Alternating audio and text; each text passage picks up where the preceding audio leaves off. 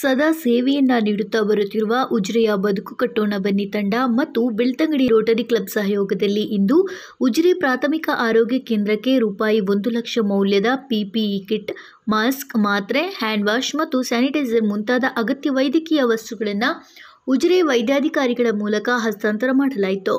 ಈ ಸೇವೆ ಹಸಿವು ಇನ್ನೂ ತ ಇನ್ನೂ ಸಹ ನೀಗ್ತಾ ಇಲ್ಲ. ಯಾಕೆಂತ ಹೇಳಿದರೆ ಇವತ್ತೊಂದು ಕಾರ್ಯಕ್ರಮ ಮಾಡಿದೆ ನಾಳೆ ಇನ್ನೊಂದು ಕಾರ್ಯಕ್ರಮಕ್ಕೆ ನಾವು ಆಲೋಚನೆ ಮಾಡ್ತಾ ಇರ್ತೇವೆ. ಯಾಕಂದರೆ ನಮ್ಮ ಸೇವೆಯು ನಿರಂತರವಾಗಿ ನಡೀತಾ ಇದೆ. ಅದೇ ಒಂದು ಕಡೆ ಸೇವೆ ಮಾಡುವಾಗ ಅದಕ್ಕೆ ಒಂದಷ್ಟು ಟೀಕೆಗಳು ಸಹ ಬರ್ತಾ ಇದೆ. ಆ ಟೀಕೆಗಳನ್ನು ಎದುರಿಸಿ ನಾವು ಈ ಕೆಲಸವನ್ನು ಮಾಡಬೇಕಾಗ್ತದೆ. ಯಾಕಂದರೆ ಹೇಳಿದೆ ಈ ಸೇವೆ ಮಾಡುವವನಿಗೆ ಅವನ ಮನಸ್ಸಲ್ಲಿ ಸೇವೆದು ಮಾತ್ರ ಚಿಂತೆ ಇರ್ತದೆ. ಯಾಕಂದರೆ ಆ ಸೇವೆ ಜನರಿಗೆ ಮುಟ್ಟಬೇಕು ಅಂತ. ಯಾಕಂದರೆ ಕಟ್ಟೋಣ ಈ ಏನು ತಂಡ ನಾವು ಕಟ್ಟಿದ್ದೇವೆ, ಅದರಲ್ಲಿ ಬರೀ ಸೇವೆ ಮಾತ್ರ. ಯಾಕಂದರೆ ನಾವು ಯಾರಿಂದ ಸಹ ಹಣವನ್ನು ತೆಗೊಳ್ಳೋದು ಸಹ ಇಲ್ಲ, ಯಾರಿಗೆ ಹಣ ಕೊಡುವುದಿಲ್ಲ ಅಂತ ಒಂದು ನಿರ್ಧಾರ ಮಾಡಿ ನಾವು ಈ ಸೇವೆಯನ್ನು, ಸೇವೆಗೆ ಇಳಿದದ್ದು. ಯಾಕಂದರೆ ಇದರಲ್ಲಿ ನಮ್ಮ ಉದ್ದೇಶ ಅಷ್ಟೇ, ಜನರಿಗೆ ಸೇವೆ ಮಾಡಬೇಕು ಅಂತ.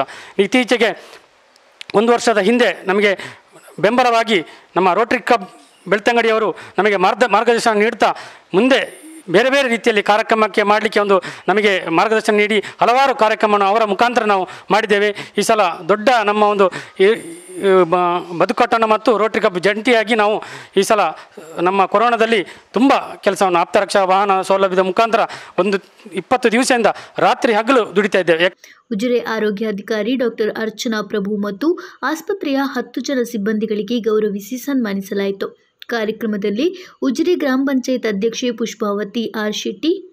ಈ ಪೆಂಡಮಿಕ್ ಡಿಸೀಸ್ ಟೈಮಲ್ಲಿ ನಮಗೆ ನಮ್ಮ ಆಶಾ, ನಮ್ಮ ಸಿಸ್ಟರ್ಸ್ ಇವರಿಗೆಲ್ಲ ನಮಗೆ ಬಹಳ ಅವಶ್ಯಕತೆ ಇದ್ದದಂದರೆ ವೆಹಿಕಲ್ ಇದ್ದೋ ಅವಶ್ಯಕತೆ ಇತ್ತು.